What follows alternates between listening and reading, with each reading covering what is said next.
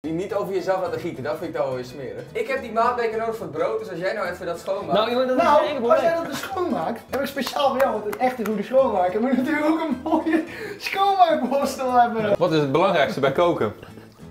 Een bier, eh, een bier.